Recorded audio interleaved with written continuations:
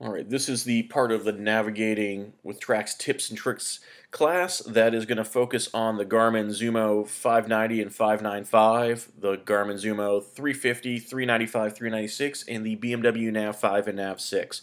All these units are running the same platform, the same software, and should line up nicely with all the screenshots we have.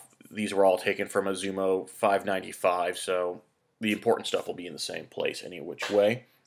And at this point, we are assuming that you have taken your tracks from Garmin Basecamp, you've imported them into your GPS unit, and now it's just a matter of displaying them on your map so you can then navigate with them.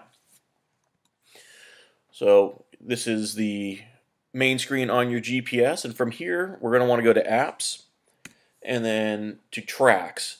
And this is going to be the same as the track manager if you were more familiar with a hiking unit such as the Garmin Montana. It same thing, just slightly different name. And under the Save Tracks tab that we have pulled up here, you'll have all the tracks that you've put into the GPS. There are arrows, so you can put quite a few in there and you might need to scroll. In this case, we're going to just click on that first one, and it's going to pop you over to a preview screen. And this screen is great to just make sure it is indeed the track that you want. And if you are in that area, right around the track, your icon would pop up there. In this case, I'm previewing a track that I'm quite a ways away from.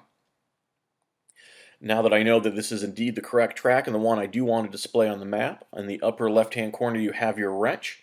If you click on that, it will get you to this menu. And the first thing right on the top there is show on map and you want to click that box on the right hand side and then it would show on your main map.